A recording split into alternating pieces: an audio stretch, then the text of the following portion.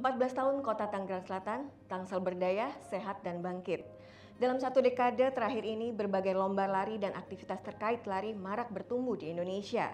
Pada masa pandemi pun tercatat minat masyarakat terhadap olahraga meningkat pesat, termasuk olahraga lari jalan raya. Begitu pula dengan komunitas lari dan pencinta olahraga lari yang kian bermunculan di berbagai wilayah. Tangsel Marathon 2002 merupakan salah satu event olahraga yang merupakan rangkaian perayaan Hari Olahraga Nasional dan juga rangkaian HUT ke-14 Kota Tangerang Selatan. Seperti apa dan bagaimana rangkaian kegiatan HUT 14 Kota Tangerang Selatan? Saat ini saya bersama Bapak Wali Kota Tangerang Selatan, Bapak Benyamin yeah. Dafni. Salam sehat, Bapak. Salam sehat, Mbak. Iya, Pak. Ini uh, gebrakan terbaru ya, Pak, dari Kota yeah. Tangerang Selatan uh, di masa uh, setelah dua tahun lebih lah ya kita uh, di COVID-19. Uh, ada apa sih Pak dalam rangkaian kegiatan di 14 tahun Kota Tangerang Selatan Pak? Iya, uh, rangkaian kegiatan hari ulang tahun 14 tahun Tangerang Selatan yang jatuh 26 November yang akan datang itu saya perpanjang empat bulan sebelumnya. Jadi berbagai aktivitas terus kita lakukan antara lain yang paling fenomenal adalah uh, Tangsel Marathon yang akan diselenggarakan pada bulan September 2022 yang akan datang ini. Itu yang mudah-mudahan menjadi event yang luar biasa buat masyarakat Tangerang Selatan. Oke, seperti apa sih Pak Tangsel Marathon 2022? Kami bekerja sama dengan event organizer yang memang sudah profesional menangani maraton. Hmm. Kami bagi paling tidak ada lima kategori di sana. Hmm yang pertama adalah 42 km untuk para profesional hmm. uh, lari maraton, hmm. kemudian 21 km, hmm. kemudian 10 km, kemudian 5 km, dan 3 km untuk uh, para peserta disabilitas.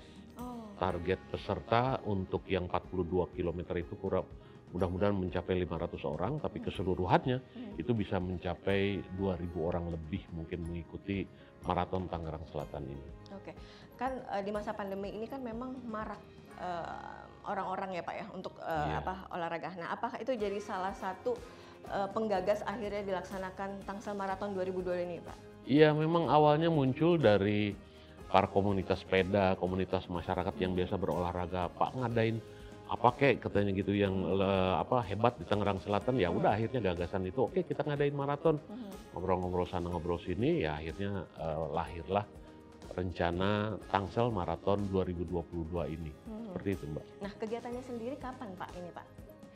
Kita rencanakan tanggal 11 September 2022. Hmm. Itu diawali dari tanggal 10 Septembernya nanti ada pengambilan nomor dan lain sebagainya di arena hmm. Pemkot.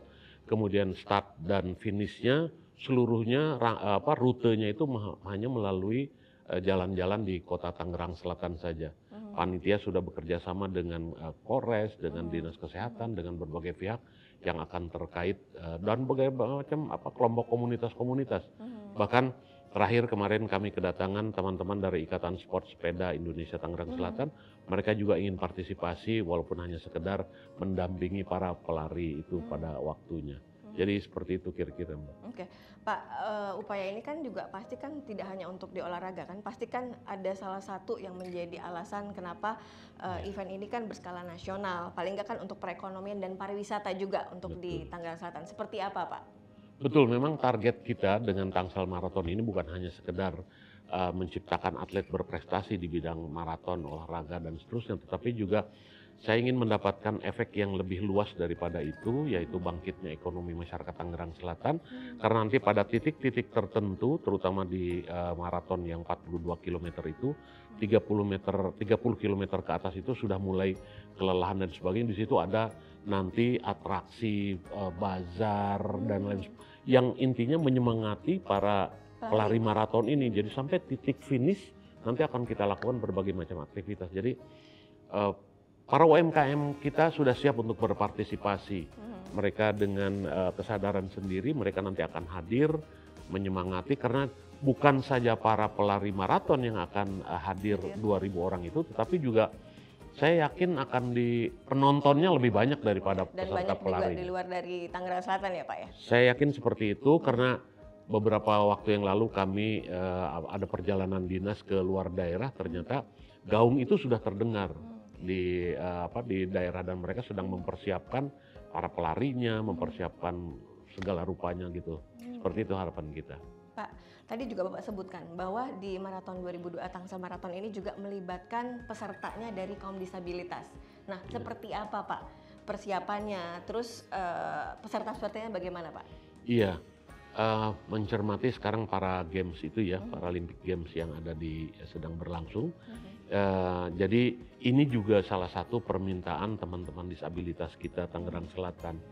Jadi mereka nanti akan ikut berpartisipasi dan akhirnya kita wadahi sebatas 3 km dengan beberapa kriteria artinya harus ada pendamping, kemudian juga nanti ada uh, perbedaan antara yang di kursi roda atau yang uh, disabilitas yang lainnya itu nanti akan ada pengaturan-pengaturan Berarti ada khusus klasifikasi khusus ya ada Pak? ya? klasifikasi khusus. Tapi memang diharapkan ada prestasi juga di sana gitu, bukan hanya sekedar ikut memeriahkan saja, tapi ada prestasi nanti di sana seperti itu. Oke, Pak. Tadi kan Bapak bilang bahwa kan eh, ini kan eh, event berskala nasional gitu loh. Nah, eh, ini juga pasti akan melibatkan banyak orang. Eh, terkait dengan masa pandemi ini kan juga masih tetap masih. Nah, eh, seperti apa Pak sosialisasi terhadap masyarakat, baik itu nanti pengunjung atau penonton itu sendiri gitu. Iya. Jangan sampai euforia ini mereka lupa gitu loh bahwa tetap eh, kita juga tetap eh, harus mengikuti protokol kesehatan, Pak. Iya betul, itu saya cermati sejak awal. Saya mintakan sejak awal kepada panitia dan seluruh camat lurah yang nanti juga akan ikut berpartisipasi di sini. Ini untuk tetap memperhatikan protokol kesehatan. Makanya dari sekarang saya terus meningkatkan capaian vaksinasi booster ketiga yang sudah mendekati angka 50% untuk Tangerang Selatan dan ini sudah tinggi. Bersama Pak Kapolres, Pak Dandim, Pak Kajari dan seterusnya kami sekarang ini setiap hari melayani vaksinasi booster supaya pada waktunya nanti eh, angkanya sudah pada titik aman lah untuk warga Tangerang Selatan. Demikian juga nanti para peserta dari luar daerah. Kita mintakan surat keterangan bahwa mereka sudah divaksin, Oke. Mereka sudah di swab dan lain itu wajib sebagainya. eh, Wajib, booster ya kalau untuk Sifatnya wajib. pesertanya. Betul. Oke, Pak Ben, kita akan ngobrol lagi tapi kita jeda dulu. Kita akan kembali setelah yang berikut ini.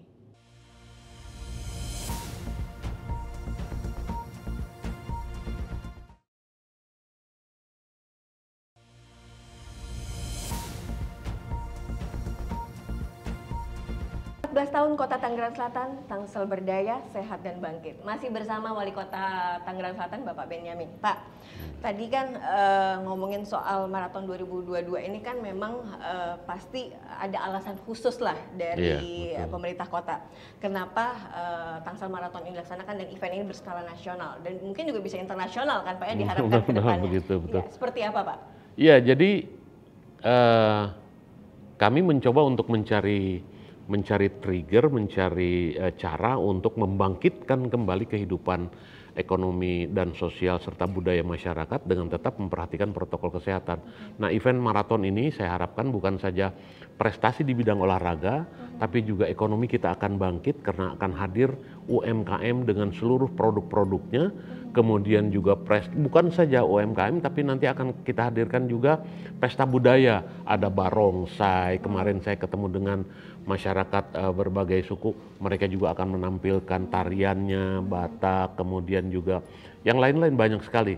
Eh, jadi bangkitan ekonomi, sosial dan budaya melalui event olahraga ini saya harapkan bisa tercapai. Nah, seperti contoh eh, apa namanya ini adalah UMKM hasilnya Tangerang Selatan. produk-produk UMKM Oke. Tangerang Selatan ini kita sebut kembang goyang, ningnong ini enak sekali. Ini modifikasi dari biasanya kan besar, Iya, biasanya tapi lebar. bikin yang eh, minimalis biasanya ya, lebar ini karena agak sulit untuk dimakan maka dibuat yang kecil. Ini kreativitas dari anak-anak Tangerang Selatan UMKM. Dan ini brownies brownies kering, gitu kan.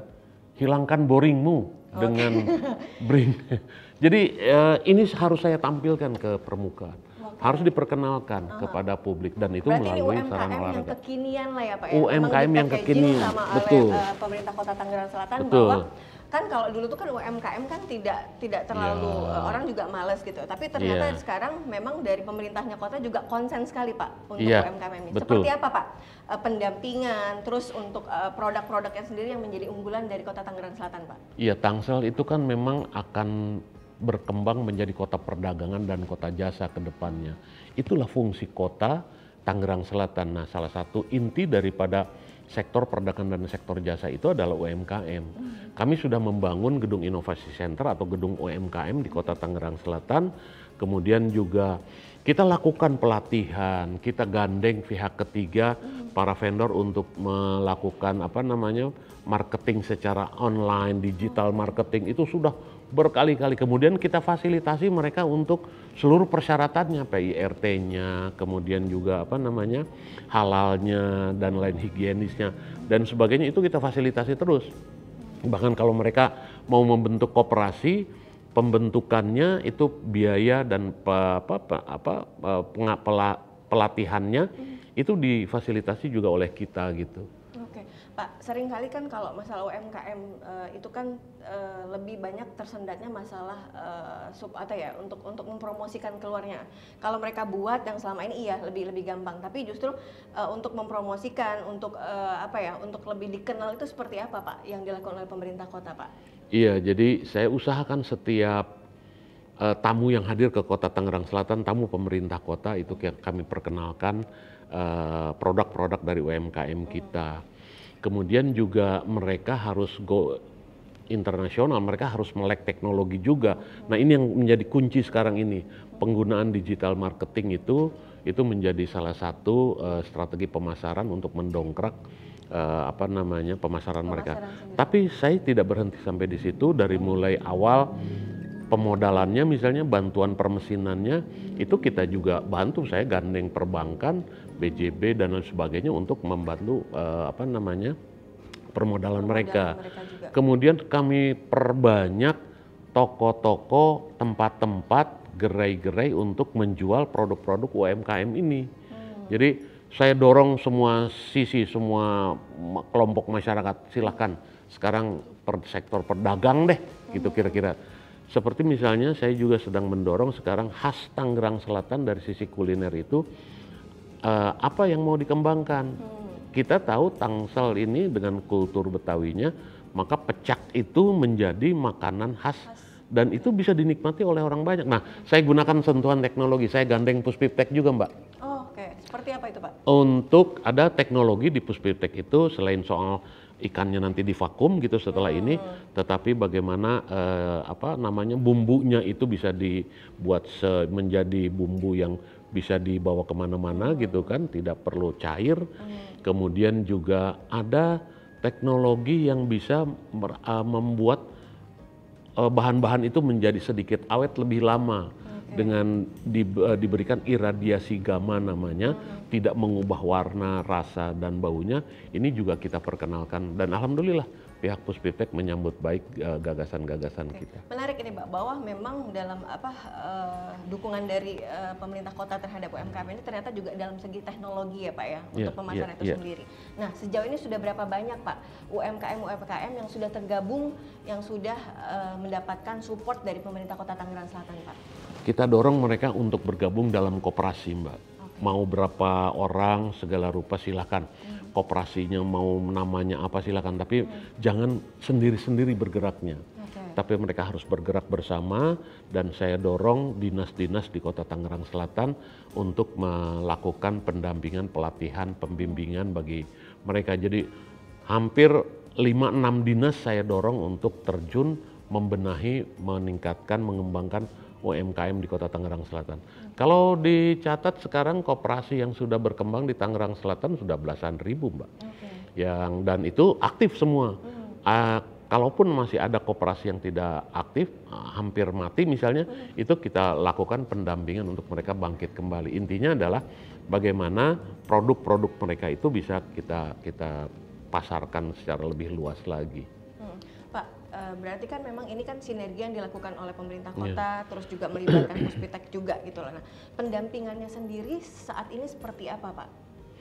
Dari dari mulai uh, produksi awal apa ya, uh, planningnya, organizingnya, activatingnya, controllingnya itu semua kita kita damping. Jadi manajemennya kita benahi mereka, Mbak.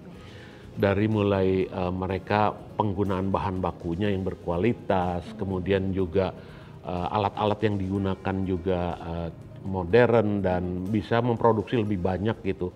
Karena kebanyakan sekarang masih dikelola secara secara tradisional. Okay. mereka memang bagusnya adalah menyerap tenaga kerja, tetapi penggunaan teknologi, Teknologi juga masih belum ya. masih belum. Itu juga harus dilakukan supaya produknya bisa lebih lebih Go banyak lah go internasional. Iya. Seperti kembang ningnong ini, kembang goyang Kembang ini, ningnong eh, ya. eh, ningnong ini eh, apa namanya ini digunakan teknologi yang yang lebih ini supaya produksinya bisa lebih cepat, Lebih banyak ya. lebih banyak lagi itu aja. Oke. Pak Benyamin, obrolannya masih Ya. sangat menarik dan saya masih nanya-nanya. Oh, Tapi iya. eh, kita jeda dulu. Kita akan kembali setelah yang satu ini.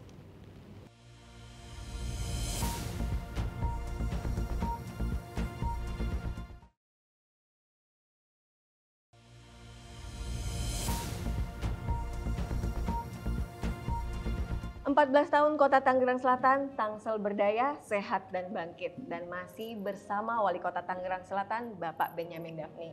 Pak Ben, nanti ini berarti saya boleh bawa dan icip-icip Boleh, ya Pak? Karena kebetulan hari ini saya puasa, jadi Boleh ini banget. saya bisa eh, jadi bawa dan nanti bisa eh, warga Tangerang Selatan wajib mencoba ini ya Pak ya. Iya, Boleh banget. Oke Pak, Eh, rangkaian kegiatan Tangerang Selatan, event berskala nasional Marathon 2022, terus juga tadi eh, melibatkan para UMKM dan juga ada geliat ekonomi yang akhirnya juga Hmm, dari Puspitek hmm, itu juga hmm, ikut hmm. berperan di sini. Nah, saya mau ngomongin soal budaya nih Oh, Pak, iya, yang menjadi iya. ikon di Tangerang Selatan ini kan seperti apa sih Pak? Karena kan saya lihat, oh kok ini ada Betawinya ya, kok ini ada Bantennya. Nah, Iya, iya. seperti apa Pak? Iya, ya filosofinya yang pertama adalah bahwa pembangunan yang berhasil itu yang tidak tercabut dari akar budayanya. Dan Tangsel kalau dilirik dari perspektif latar belakang budaya masyarakat, hampir semua kebudayaan Indonesia itu ada di kita. Mungkin ada beberapa yang menonjol dan ada beberapa yang sudah aktif. Jadi saya ingin menghadirkan eh, kemeriahan budaya, kekayaan khasanah budaya Indonesia di tingkat Tangerang Selatan. Eventnya bisa saja nanti melalui event saja apa saja.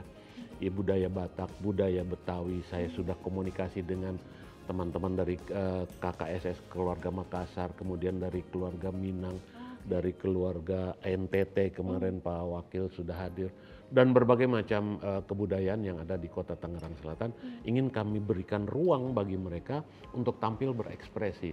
Karena itulah yang nanti akan menjadi ciri khas Tangerang Selatan ke depannya. Kebudayaan ini harus hadir di tengah-tengah masyarakat. Oke, berarti perpaduan semua budaya yang ada Perpaduan di Indonesia bisa hadir di Kota Tangerang Bisa hadir Selatan. betul. Oke, Pak. Nah, tadi kan Bapak sempat sebutkan juga bahwa rangkaian di 14 kota Tang- eh, Tangerang Selatan ini kan juga ada kegiatan-kegiatan berbau budaya. Seperti apa sih, Pak? Iya, jadi eve- eventnya misalnya tadi Tangsel Marathon salah Mhm. satu Mbak. Tapi tahun ini juga kita akan menyelenggarakan misalnya Festival Setu. Kita Festival ada paling tidak ada 9 setu di Tangerang Selatan. Bolehlah itu punya kewenangan pemerintah pusat tetapi pemanfaatannya oleh masyarakat Tangerang Selatan. Kemudian di Tangerang Selatan juga hadir pondok-pondok pesantren yang luar biasa jumlahnya baik eh, apa total pesantren maupun santri-santri yang ada di dalam. Saya juga ingin menyelenggarakan festival pesantren nantinya, Mbak. Oh, Di situlah budaya hadir. Jadi eventnya nanti ketemu di situ gitu, Pak. Mhm. Kami menciptakan event-eventnya, tapi seluruh budaya itu bisa hadir. Bahkan nah, dalam perayaan 17 Agustus dan dalam perayaan ulang tahun Tangerang Selatan nanti akan lebih banyak sentuhan-sentuhan budaya dari berbagai eh, kebudayaan di masyarakat Tangerang Selatan seperti itu. Oke, Pak. Tangsel ini kan juga eh, apa ikon juga religius. Nah, Hmm. seperti apa eh, Pemkot menggandeng tokoh-tokoh agama antar umat beragama, Pak, di 14 tahun Kota Tangerang Selatan ini, Pak? Iya, alhamdulillah Mbak ya. Jadi peran para alim ulama khususnya di Tangerang Selatan ini luar biasa besar sekali. Bahkan ketika kemarin pandemi itu kita menyelenggarakan berbagai macam kegiatan event agama, kendati hanya di, sekela- di eh, kelas RW saja. Ada yang RW yang melaksanakan khataman Quran, ada pondok pesantren yang melakukan sujud eh, apa namanya bersama gitu kan, semua berdoa. Jadi peran alim ulama dalam mengatasi berbagai macam tantangan pembangunan di Tangerang Selatan ini sudah kami rasakan. Oleh karena itu, saya sangat memfasilitasi dan bergandengan erat dengan majelis ulama, kemudian juga juga dengan forum eh, kerukunan umat beragama di Tangerang Selatan. Bukan tidak ada masalah-masalah ya di Tangerang Selatan terkait dengan misalnya perspektif tadi, tetapi kita selesaikan semua dengan melalui jalur wadah-wadah yang ada ini. Alhamdulillah Mbak, Tangerang Selatan buktinya saja, buktinya saja dalam MTQ gelaran MTQ Provinsi Banten, Tangerang Selatan ini meraih juara Juara. yang ke 10 kali Ke-10 berturut-turut loh Mbak. Saya tidak kalau orang bilang merekayasa gimana cara merekayasanya 10 tahun Iya. ini ini memang prestasi eh, luar biasa dari- religiusitas Mhm. dari masyarakat Tangerang Selatan itu Oke, Pak, harapan di 14 tahun Kota Tangerang Selatan, eh, dua tahun kemarin kita juga mm, apa masih eh, di pandemi COVID-19 dan ini juga geliat ekonomi juga diharapkan juga ke depannya seperti apa sih Pak harapan di eh, 14 tahun Kota Tangerang Selatan ini? Kalau dari sisi pertumbuhan ekonomi, karena Tangerang Selatan adalah kota perdagangan dan kota jasa tadi, sebelum pandemi angka pertumbuhan ekonomi kita 7,2 persen. Nah, jadi harapan saya, triggernya, wasilahnya, perantaranya melalui pertumbuhan ekonomi yang saya harapkan bisa mencapai angka mendekati 7 persen lagi. Tahun 2022 ini sudah mencapai angka 4, sekian persen. Eh, tapi dari situ nanti tumbuh yang lain-lainnya. Jadi sosialnya tumbuh, budayanya tumbuh, musyawarahnya tumbuh, nilai-nilai Pancasilanya tumbuh. Yang ingin saya dorong ke masyarakat di Tangerang Selatan karena intinya adalah seperti demikian. Karena intinya adalah eh, visi misi saya adalah bagaimana mewujudkan Tangerang Selatan ini unggul, saling terkoneksi, kemudian juga menuju kota lestari, efisien dan efektif. Itu yang saya hadirkan dengan Pak Wakil Wali Kota Pilar Saga Iksan untuk masyarakat Tangerang Selatan. Pesan untuk warga Kota Tangerang Selatan Pak di peringatan 14 tahun Kota Tangerang Selatan. Terus kalau yang mau nonton, yang mau hadir di Marathon Ya. 2022 seperti apa Pak? Sesuai dengan tagline-nya, Tangsel berdaya, sehat dan bangkit. Ayo, jadi ini adalah kesempatan buat semua elemen masyarakat Tangerang Selatan untuk tampil ke permukaan dengan tetap menjaga protokol kesehatan, vaksinasi kita eh, lengkapi secara menyeluruh begitu, bantu kita untuk mencapai target eh, vaksinasi booster sekarang ini. Kemudian juga itu sehatnya, kemudian ayo bangkit, jangan terlalu lama kita terpuruk me- meratapi dua tahun pandemi ini. Sekarang ini waktunya kita untuk keluar di rumah kemudian bangkit secara sosial, budaya, ekonomi dengan tetap memperhatikan protokol kesehatan. Itu harapan saya, Mbak. Untuk eh, calon UMKM UMKM di Tangerang Selatan Pak, kalau yang mereka berminat untuk bergabung dan mereka juga ingin ikut pelatihan-pelatihan seperti apa sih Pak? Kami sudah membuka berbagai macam layanan bagi para UMKM kita. Dinas Koperasi terus me- apa namanya memberikan ruang-ruang bagi pertemuan-pertemuan silaturahmi dan sebagainya. Maka silakan komunikasikan yang tidak sempat ke Dinas Koperasi melalui kelurahan, melalui kecamatan setempat. Ini nanti ap- kita dorong sebaik-baiknya supaya mereka bisa menjadi penggerak ekonomi masyarakat melalui perputaran produk-produk eh, UMKM mereka. Itu yang kita harapkan Pak. Dan jadi ciri khas Tangerang Selatan. Kalau kita ada palem, empek-empek Palembang walaupun belinya di pasar Tangerang Selatan tetap aja disebutnya empek-empek Palembang. Gudeg tetap aja Jogja. Nah saya ingin misalnya kembang goyang. Oh ini Tangsel kemudian juga pecak gurame pecak eh, ikan ini Tangerang Selatan dodol ini Tangerang Selatan seperti itu Mbak karena ini menjadi trigger untuk eh, masalah yang lainnya Oke. Oke, terima kasih banyak Pak Benyamin. Semoga ke depannya 14 tahun Kota Tangerang Selatan menjadi kota unggul dan kota lestari. Pemirsa, demikian obrolan saya bersama Wali Kota Tangerang Selatan. Sampai jumpa.